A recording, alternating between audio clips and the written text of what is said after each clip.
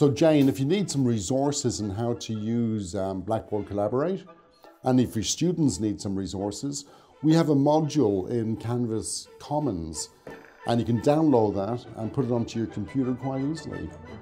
Do you, want, do you want me to show you how to do that? Yeah, please. I think that would be so useful for the students. Yep, so what we do is we go to the Commons option and we just click the Commons tab in Canvas. And what we do is we do a search for Collaborate Ultra.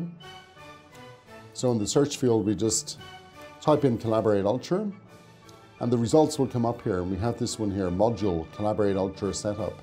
So what you can do is you can click on this and you can download the whole thing to your Canvas course shell and you can make it available to students to uh, review. It's great. So I'm going to select import and download. And from here, I'm going to select my course that I want to download it to. And I select import to course. And now that whole module will be downloaded and put into my Canvas course shell and I can make those resources available to students so they can learn how to use Canvas as well. That sounds really great. That sounds good. Fantastic. And there's also, of course, more resources on the Enabling Online Learning and Teaching website that we looked at before.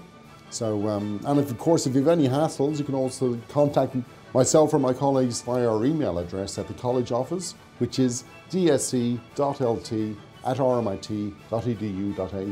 And myself or one of my colleagues will be happy to help and answer any questions you have regarding Collaborate Ultra. Thank you. Great. That's great. Good luck with it. Thanks very much. Okay. Blow, blow. I'll be in touch. I'll be in touch.